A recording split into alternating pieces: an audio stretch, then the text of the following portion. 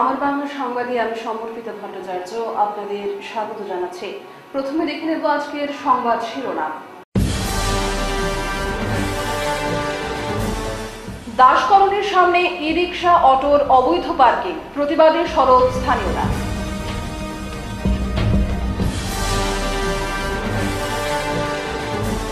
কালাইনের magenta চা বাগানে অবাধে চলছে জোয়ার আসর, নির্বাক পুলিশ প্রশাসন।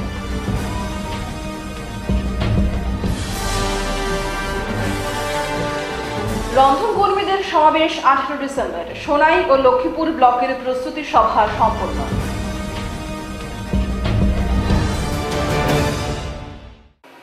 এবারে বিস্তারিত আমার বাংলা সংবাদ। বেশ কয়েক বছর থেকে হাইলাকান্দি রোডের দাসকলোনি গলির মুখী ই রিক্সা অটো, রিক্সা চালকেরা অবৈধভাবে পার্কিং বানিয়ে রেখেছেন। এতে যানবাহন ও পথচারীদের চলাচলে বিভিন্ন অসুবিধার সম্মুখীন হতে হয়। সন্ধ্যার সময় ফুটপাত দখল করে ফাস্ট ফুডের দোকানের ব্যবসা চালিয়ে যাচ্ছেন কিছু মানুষ। উক্ত বিষয় সহ অন্যান্য অসামাজিক কার্যকলাপ বন্ধের দাবিতে দাসকলোনি পঞ্চায়েত রোড ঐক্য সুরক্ষা কমিটি গঠনের বিষয়ে এক সভা অনুষ্ঠিত হয়। দাসকলোনি ও পঞ্চায়েত রোডের সচেতন নাগরিকেরা এতে অংশ নেন। রবিবার দুপুর বারোটা থেকে দুটো অবধি দাসকলনের মুখে দাঁড়িয়ে শান্তি শৃঙ্খলা বজায় রেখে ই রিক্সা অটো, রিক্সা, ঠেলা ইত্যাদির অবৈধ পার্কিং ও যাত্রী উঠানো নামানো বন্ধের দাবি জানান। বিষয়টি নিয়ে স্থানীয় নাগরিক শান্তনু পাল জানান দাসকলোনি গলির সামনে আনুমানিক আঠেরো ফুট থাকা সত্ত্বেও অটো রিক্সা চালকেরা অবৈধভাবে যাত্রী ওঠানামা করে যাচ্ছেন। সকাল থেকে গলিতে যানজটের সৃষ্টি হয়। এর ফলে পথচারী, ছাত্রছাত্রী সহ অসুস্থ রোগীদের যাতায়াত করতে প্রচুর অসুবিধা পোহাতে হচ্ছে। প্রাক্তন পুর কমিশনার অসীম দাস বলেন দাসকলনের মুখে অবৈধভাবে যাত্রীদের ওঠানামা করা আর বরদাস্ত করা যাবে না। আমরা আজকে আপনাদের মাধ্যমে এবং সংবাদপত্রের মাধ্যমে ইলেকট্রনিক মিডিয়া যারা এখানে উপস্থিত আছেন, তাদের প্রত্যেকের মাধ্যমে আমরা জানাতে চাই, আমরা শান্তিপূর্ণভাবে তাদেরকে জানাতে চাই যে এই অঞ্চলে পার্কিংটা যাতে তারা সুন্দর সুচারুরূপ করে। এবং উদ্যোগ নিয়েছেন আমাদের এই অঞ্চলের প্রাক্তন পুর কমিশনার অসীম দাস মহাশয়। উনি আমাদের সঙ্গে আছেন। ওনার কে সঙ্গে নিয়ে আমরা প্রায় তিনশো থেকে চারশো সিগনেচার আমরা কালেকশন করেছি। একটা পিটিশন আমরা যাতে প্রশাসন শীঘ্র একটা ব্যবস্থা নেয়, যাতে আমরা জনগণরা এই অঞ্চলের জনগণ, আজকে আমরা শান্তিপূর্ণভাবে ওদেরকে বলছি, কিন্তু আমাদের বলাই তো হবে না, সবাই তো জানতে পারবে না। আপনাদের মাধ্যমে আমরা এটা জানাতে চাই ওদের কাছে, আমরা আবেদন জানাতে চাই, আমরা রিকোয়েস্ট করছি ওদেরকে। আমরা কোনো যুদ্ধে যাচ্ছি না যে এইখানে যাতে পার্কিংটা ঠিক মতো করা হয় দুই সাইডের পার্কিং। এইখানে জায়গা আছে মা ভবনের সামনে নিয়ে যারা আসছে তাদেরকে নামাতে পারে ভেতর থেকে যারা আসছে। আর এই দিক থেকে যারা উঠাবে তারা এই স্টেট ব্যাংকের সামনের বড় জায়গা আছে এই জায়গাটাতে উঠাতে পারে।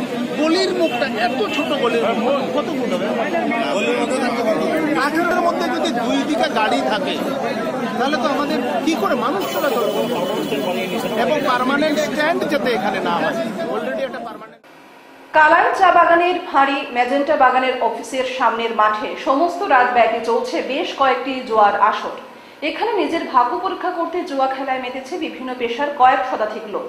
আর এদের মধ্যে জুয়া খেলে সর্বস্ব হারিয়ে সর্বশান্ত হয়েছেন অনেকেই। এখানে যে শুধু জুয়ার আসর চলছে তা নয়, প্রকাশ্যে চলছে মদ ও ড্রাগস সেবন। মেজেন্টা চা বাগান এলাকায় দুদিন থেকে এসব অসামাজিক কার্যকলাপ চলা সত্ত্বেও নীরব ভূমিকা পালন করছে স্থানীয় প্রশাসন। আইনের দৃষ্টিতে জুয়া খেলা শুধু একটিমাত্র অপরাধ হলেও এটিকে ঘিরে আরও অনেক অপরাধের জন্ম হচ্ছে। বিপথে যাচ্ছে যুব সমাজ। চুরি, ছিনতাই ও ডাকাতি থেকে শুরু করে পারিবারিক সহিংসতা এবং সামাজিক অস্থিরতা তৈরির নেপথ্যে জুয়া অন্যতম প্রভাবক হিসেবে কাজ করছে। অতিসত্বর এসব জুয়ার আসর গুড়িয়ে দিতে কঠোর পদক্ষেপ গ্রহণ করা না হলে ভবিষ্যৎ প্রজন্ম ধ্বংসের পথে এগিয়ে যাবে বলে মত প্রকাশ করেছেন স্থানীয় সচেতন মহল। এলাকাবাসী বাগানে চলতে থাকায় এসব অসামাজিক কর্মকাণ্ড বন্ধে প্রশাসনের ঊর্ধ্বতন মহলের হস্তক্ষেপ কামনা করেছেন।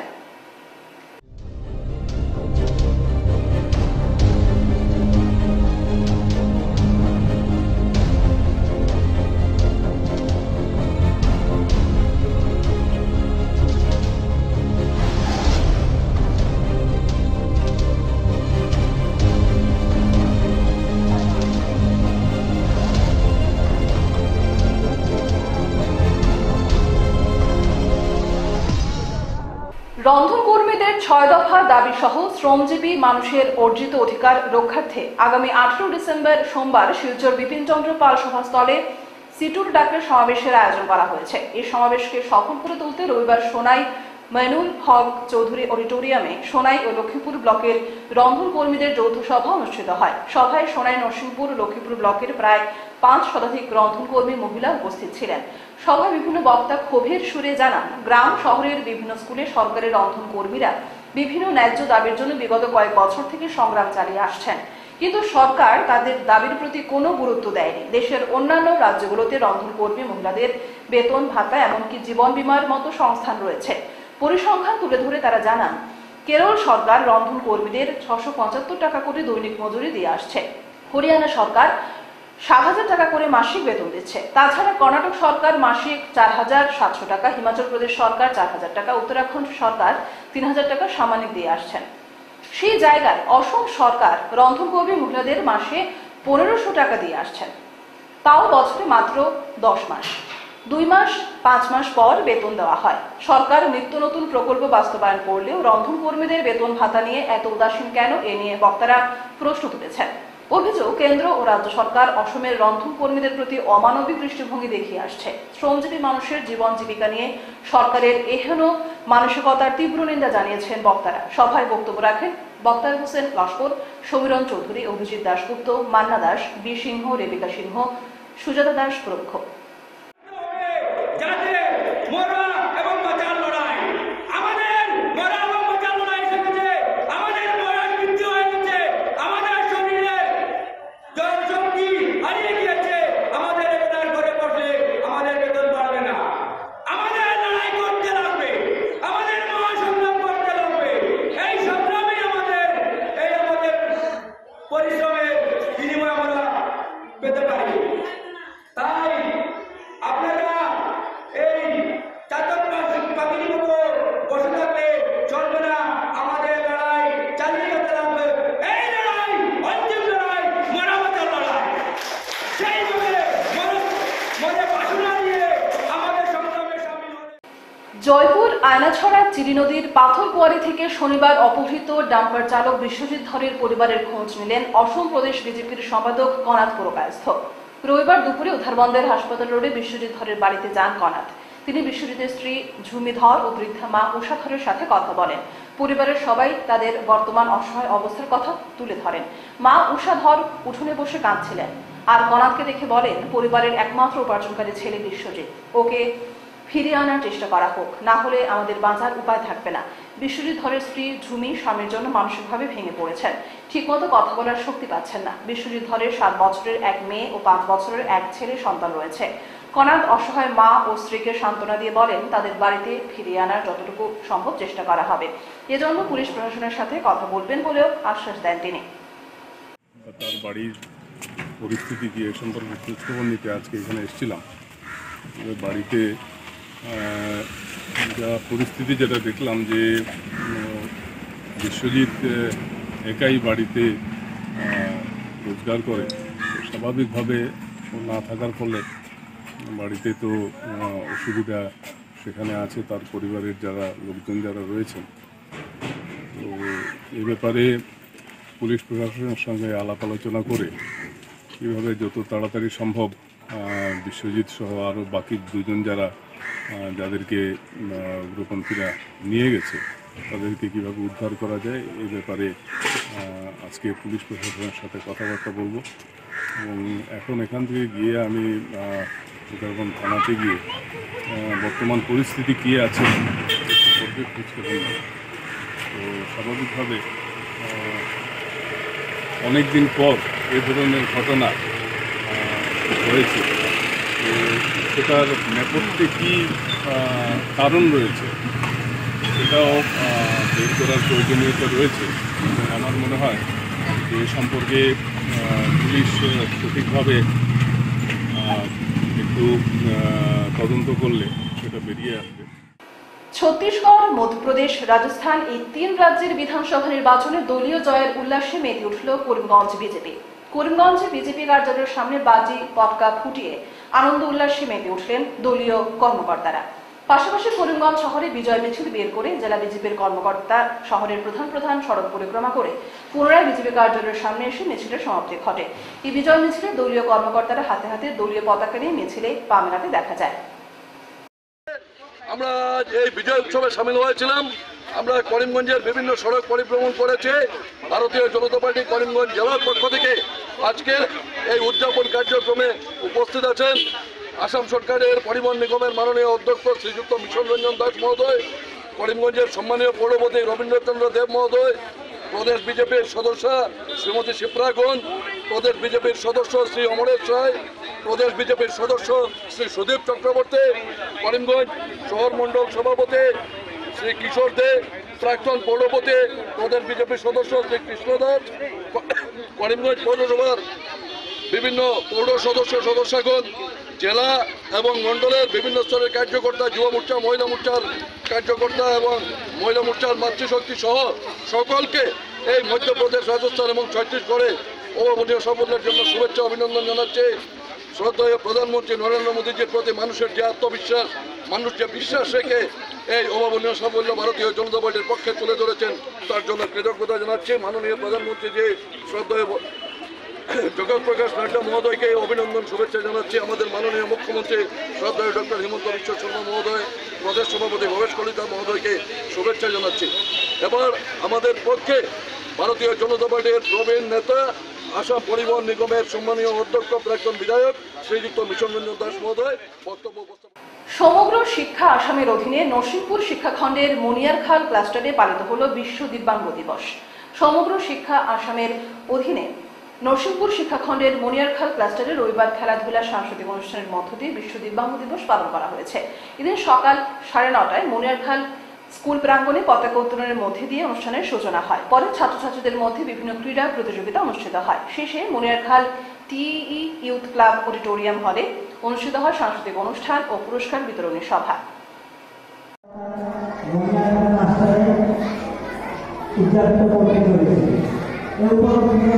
আমাদের আমাদের বিশেষ অতিথি হিসেবে উপস্থিত হওয়া সমস্ত বিশ্বের সঙ্গে সম্পর্ক রেখে আমরাও রসিক ব্লকে উদ্যোগে বন্যা খাল পরিচালনা হয়ে উদযাপন করতে করেছি আজ বিশ্ব প্রতিবন্ধী দিবস যেটা অনুষ্ঠান হচ্ছে সেটা রাষ্ট্রসংঘের উনিশশো বিরাশি সালে থেকে উনিশশো বিরানব্বই সাল পর্যন্ত যে বর্ষ-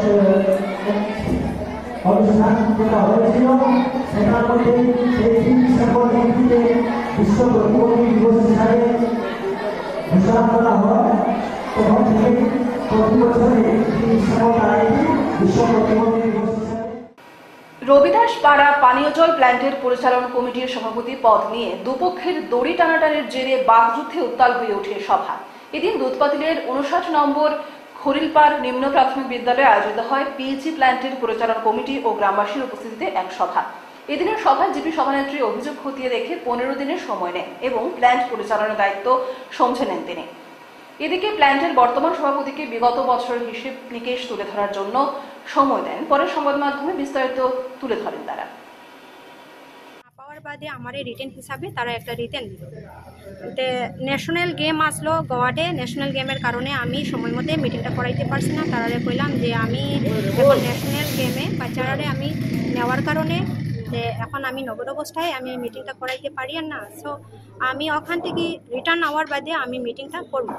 তে বিগত তেইশ মানে ইয়েতে তেইশ তারিখে আমরা একটা মিটিং তার ত্রিশ তারিখে না, একটা মিটিং কল করছিলাম বিগত রবিবারে। মিটিংটা কল করার বাদে যেমন কি প্রেসিডেন্টে আমি নোটিশও দিছি, সঙ্গে ডিপার্টমেন্টেও আমি নোটিশ দিয়া জানাইছি। জানানির তথ্যে প্রেসিডেন্ট ইন প্রেজেন্ট থাকার কারণে আমরা কোনো সুরাহাও পাইতে পারছিলাম না। সো আমি নেক্সট ডেট আজকের ডেটটা আমি আবার মানে হাউসের মাধ্যম থেকে আমরা এক সপ্তাহ সময় দিয়ে আজকে আবার মিটিংটা কল করছি, যাতে আজকে এই প্ল্যানটা সুন্দরভাবে, সুষ্ঠুভাবে চলে। তে আজকে মিটিংটা করার বাদে যেমন কি কিছু কিছু জিনিস আমরা তথ্য তথ্যগুলা পাইতে মানে পাইতাম, এইগুলা তথ্য need and clean bill voucher এইগুলা আমরা সমস্ত জিনিস পাইছি না। ভার্বেলি একটা আমরা পাইছি, কিন্তু আজকে হাউসের মাধ্যম থেকে উঠল যে ভার্বেলি পাওয়াটা তো এখন রামসামকেও আমরা আমার এক লাখ টাকা লাগিয়ে গেছে, দুই লাখ টাকা লাগিয়ে গেছে এরকম হইতে পারে। বাট এটা তো আজকে আমরা যে মান্থলি কালেকশন প্লাস আমরা কনজিউমার মানে যেটা আছে, এটার লগে কিছু একটা অমিল আছে। তে আবার আমি আজকে হাউসের মাধ্যম থেকে আগামী পনেরো দিন পর্যন্ত আমি প্রেসিডেন্টের কাছে আমি একটা ইয়ে দিলাম যে, তাই পনেরো দিনের ভিতরে বাদ বাকি তথ্যগুলা কালেকশন করি, আমরা দেওয়া প্রথমবারের মতো শিলচরে বৃন্দাবনের গৌরীয় কুলভূষণ অখিল ভারতীয় মাধব গৌরেশ্বর মহাসভার প্রখ্যাত মহান্ত ও মহারাজের আগমনে আয়োজন হচ্ছে সনাতনী মহাসমাগম সম্মেলন। এতে শ্রীমদ ভাগবত সপ্তাহের পাশাপাশি হবে বিশ্ব শান্তি কল্যাণ যজ্ঞ সহ নানা ধর্মীয় অনুষ্ঠান। তাছাড়াও বরাকে প্রথমবারের মতো শ্রী শ্রী জগন্নাথ মহাপ্রভুর বত্রিশ বেশ দর্শন প্রদর্শিত হবে। মহা মহামণ্ডলেশ্বর শ্রী শ্রী এক হাজার আট শ্রী মহান্ত গোবিন্দদাস মহারাজ্যের সতেরোতম তিরোধান তিথি ও অযোধ্যায় শ্রী শ্রী রামলালার প্রাণ প্রতিষ্ঠার আনন্দ উৎসবকে সামনে রেখে শিলচরে মহা আয়োজন বলে জানান আয়োজকরা। এদিন এক সাংবাদিক সম্মেলন ডেকে তারা জানান সাত জানুয়ারি পদযাত্রার মাধ্যমে আসরের সূচনা হবে। এদিনের সাংবাদিক সম্মেলনে উপস্থিত ছিলেন শ্রীমন্ত গৌর গোপাল দাস, মহারাজ সনাতনী মিলন মহা উৎসবের বিস্তারিত তুলে ধরেন। আমরা একদিনের জন্য পাবো এই অনুষ্ঠানে।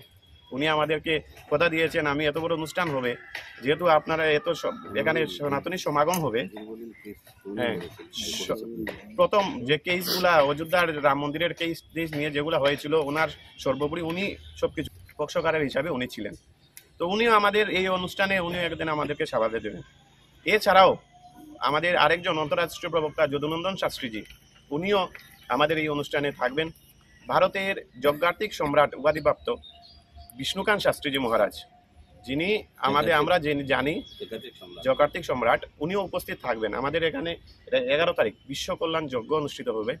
এই যজ্ঞে উনিও থাকবেন। উনি আমরা সাধারণত দেখে থাকি। আমাদের মুম্বাইয়ে বলুন বা আমাদের মথুরার সাংসদ হেমমালিনী হেমমালিনী জিরে ঘর গৃহপ্রবেশ বলুন ওনার কিছু বলুন বা বাইরের যত বড় ধরনের অনুষ্ঠান হয়, উনাকে চিফ গেস্ট হিসাবে নেওয়া হয় উনাকে। বিষ্ণুকান্ত শাস্ত্রীজিকে। হ্যাঁ তো উনি যজ্ঞার্থিক সম্রাট উপাধি পেয়েছেন। উনিও আমাদের অনুষ্ঠান রাখবেন সর্বোপরি সব কিছুর মধ্যে আমাদের মহারাজ থাকবেন, উনার নির্দেশে আমাদের পুরো অনুষ্ঠানটা পরিচালিত। বিশ্ব সক্ষম দিবস উপলক্ষে আজ খোঁজ শিলচর সামাজিক ক্রীড়া সাংস্কৃতিক সংস্থার মাধ্যমে ক্ষিতীশ কুমার চক্রবর্তী বিনা ভবেশ চক্রবর্তী নিশীত রঞ্জন পাল স্মৃতি থেকে বিশেষভাবে সক্ষম যারা তাদেরকে কম্বল, মশারি, চুড়িদার, লুঙ্গি টি শার্ট শাড়ি তুলে দেওয়া হল। সকাল ছটা থেকে বিকেল চারটা পর্যন্ত রাস্তায় ঘুরে ঘুরে সক্ষম মানুষ দেখে দেখে তাদের হাতে এই জিনিস তুলে দেয়। দুপুর বারোটায় ঘনিয়ালা কাছার হ্যান্ডিক্যাপ সোসাইটির সহযোগিতায় কম্বল বিতরণ করা হয়। আজ বিশ্ব সক্ষম দিবস। এই সক্ষম দিবস উপলক্ষে খুদ শিক্ষা ক্রীড়া সাংস্কৃতিক সংস্থার পক্ষ থেকে কম্বল বিতরণী অনুষ্ঠান করছি আমরা। কাচার হ্যান্ডিক্রাফট অ্যাসোসিয়েশনের সহযোগিতায় এই ঘনি এলাকাতে আমরা করছি। এখানের মধ্যে বেশ কিছু কয়েকজনকে কম্বল দেওয়া হয়েছে। আমাদের সঙ্গে আছে আমাদের এই বন্ধু এবং ডিএসএর প্রাক্তন গ্রাম সচিব নিলয় পাল মহাশয় আজকের মুখ্য অতিথি হিসাবে এখানে ছিলেন। আগে ভবিষ্যতে আরও বেশি করে আমরা কম্বল দেওয়ার এখানে চেষ্টা করব। আমাদের সঙ্গে আছেন হ্যান্ডিক্রাফটের সেক্রেটারি প্রেসিডেন্ট ফরিদা বেগম। ওনাদের ওনার পছন্দ মতো হ্যান্ডিক্রাফটের সবাইকে আমরা এখানে নিয়ে এসেছি। আগামীতে আরও বেশি করে কম্বল বিতরণ করব এই আশা রাখি। ধন্যবাদ। শেষ করার আগে বিশেষ বিশেষ আমার বাংলা খবর আরও একবার। দাস কলোনির সামনে ই রিক্সা অটোর অবৈধ পার্কিং। প্রতিবাদে সরব স্থানীয়রা।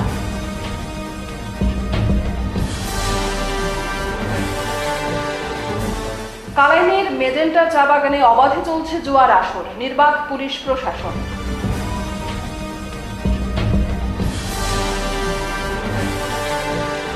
রন্ধন কর্মীদের সমাবেশ আঠারো ডিসেম্বর। সোনাই ও লক্ষ্মীপুর ব্লকের প্রস্তুতি সভা সম্পন্ন।